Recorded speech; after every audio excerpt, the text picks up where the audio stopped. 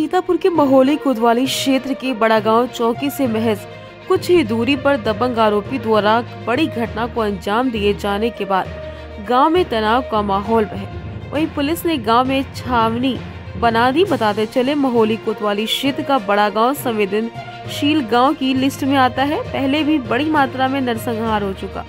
शिव प्रकाश सिंह ने बताया कि सोमवार दोपहर सभी ग्रामीण सावन माह के चलते कांवड़ यात्रा पर जाने की तैयारियों में जुटे थे, उन्होंने बताया।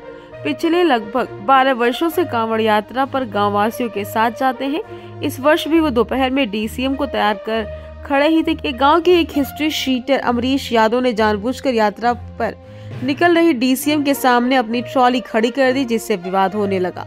मामला जब शांत हुआ, इसके बाद ग्रामीणों ने इसकी सूचना फ़ौरन स्थानीय चौकी पर दी, लेकिन स्थानीय पुलिस ने मौके पर पहुंचकर मामले की गंभीरता को न समझते हुए कार्रवाई का आश्वासन देकर वापस चले आए। किसी तरह की कोई अन्य घटना या अनहोनी हो, जिसके चलते कांवड़ यात्रियों ने घटना की सूचना कोतवाली और जिलाधिकारी को दी, लेकिन बेखौफ हिस्ट्री शीटर ने लगभग साढ़े नौ बजे रात के करीब फिर विवाद शुरू किया, जिसके चलते प्रधान प्रतिनिधि अमरीश ने अपने अन्य साथियों के साथ मिलकर मारपीट शुरू कर दी।